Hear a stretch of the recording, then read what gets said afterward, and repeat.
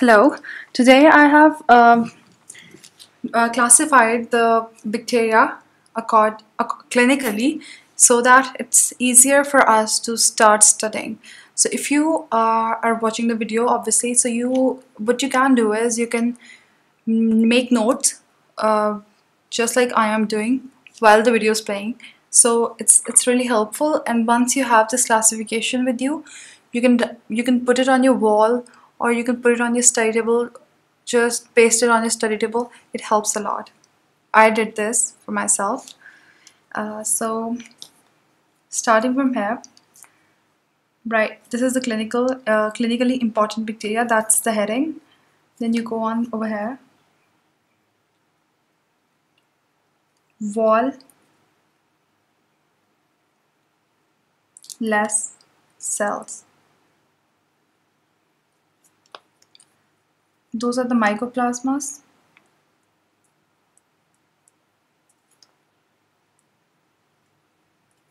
And then, what's the disease that's related to mycoplasmas? That's pneumonia. The next you have is the flexible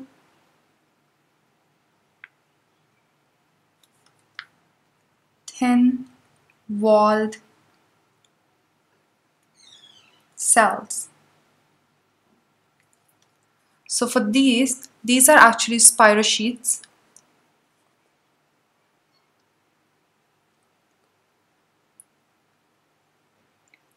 We have three spirochetes. Treponema,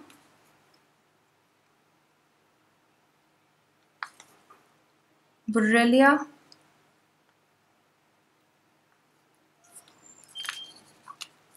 and Leptospira.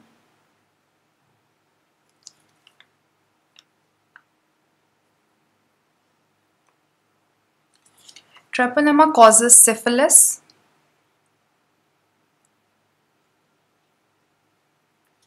Borrelia causes Lyme disease.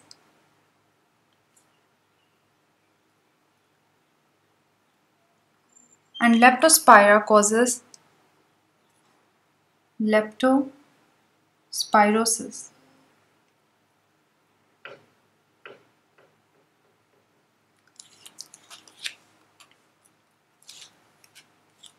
Now, what you can do is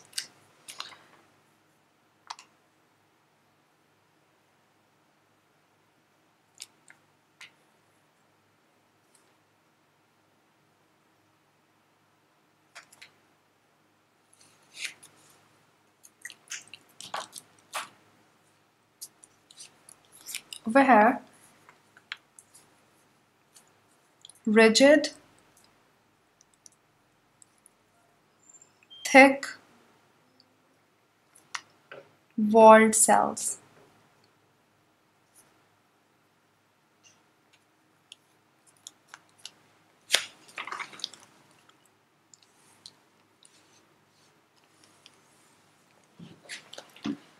these can be divided into two parts again.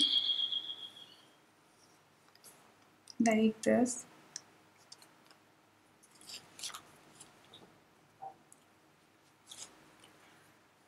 The non-free living.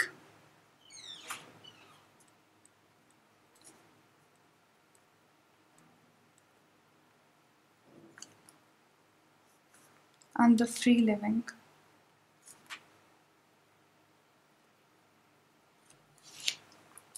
So the non-free living are the obligate intracellular parasites.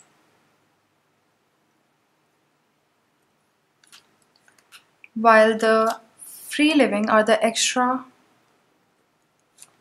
cellular bacteria.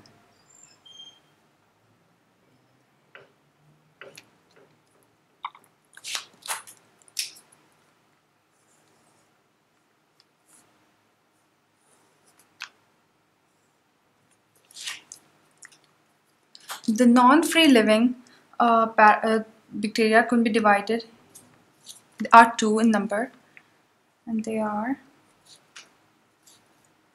Rickettsia first, Rickettsia,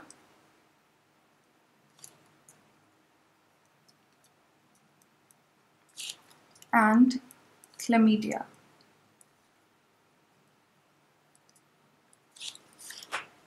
Rickettsia causes Rocky Mountain. Spotted fever.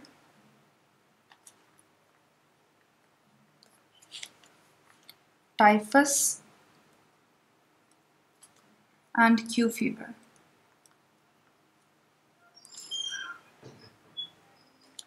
While chlamydia causes urethritis, trachoma, and psittacosis.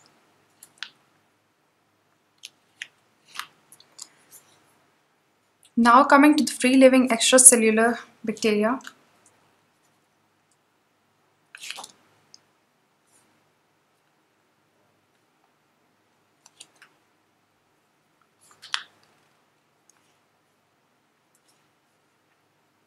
The gram positive.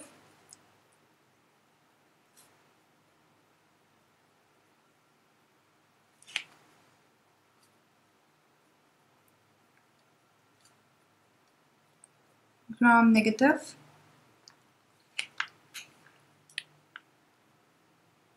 And acid fast.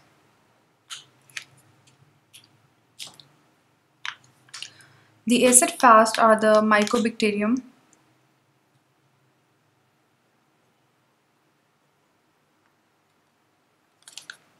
they cause tuberculosis. And leprosy.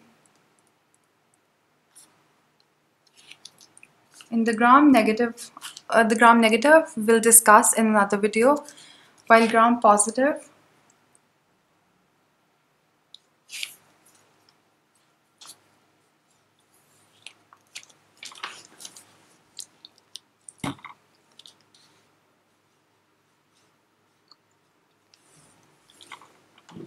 can be divided further into cocci. The cocci are two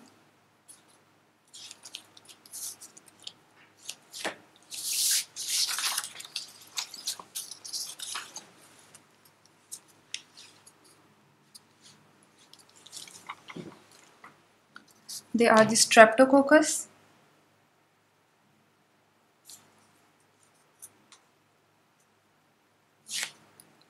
and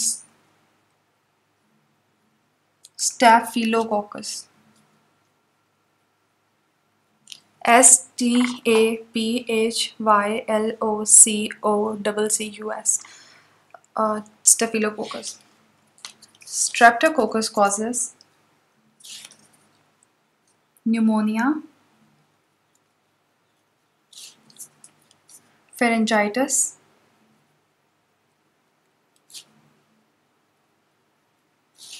and cellulitis.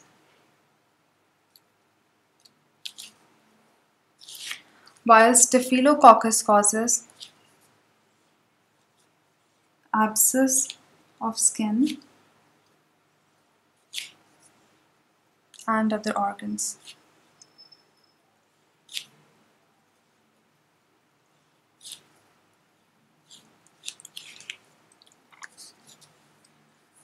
Now the next of the gram positive, we have spore forming rods. These were the cocci, these are the rods. So the rods, these can be divided into anaerobic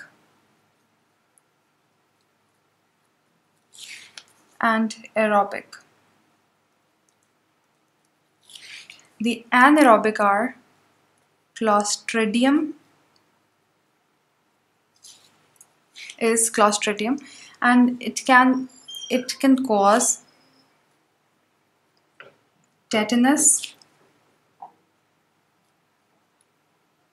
gas gangrene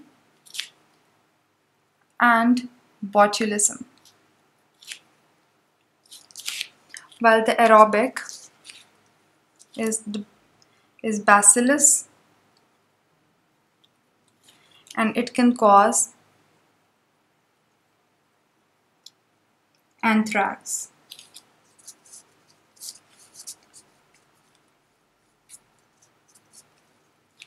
The next of the gram positive, the last one is non-spore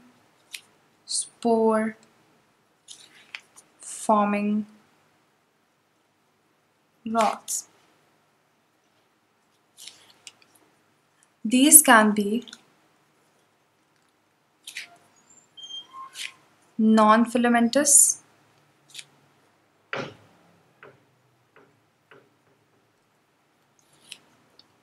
or they can be filamentous.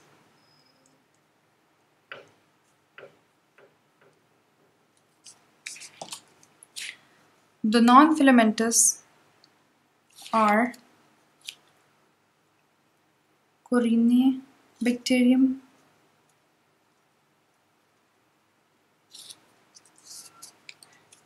and Listeria.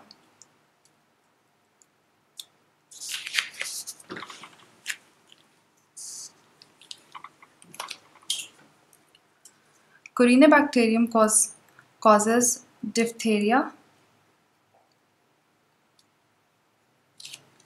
while Listeria causes meningitis.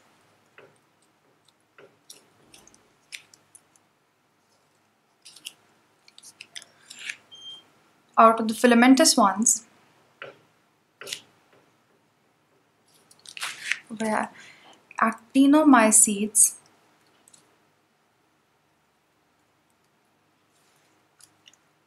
cause actinomycosis and the other one is nocardia.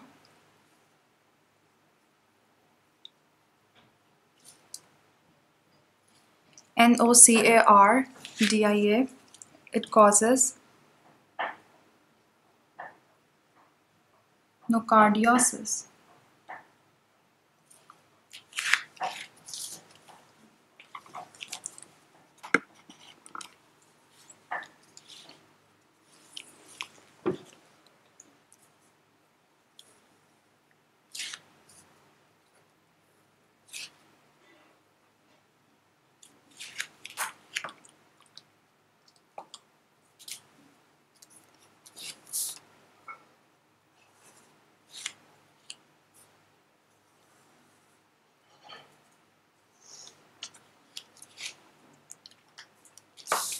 So this is the division of the clinically important bacteria.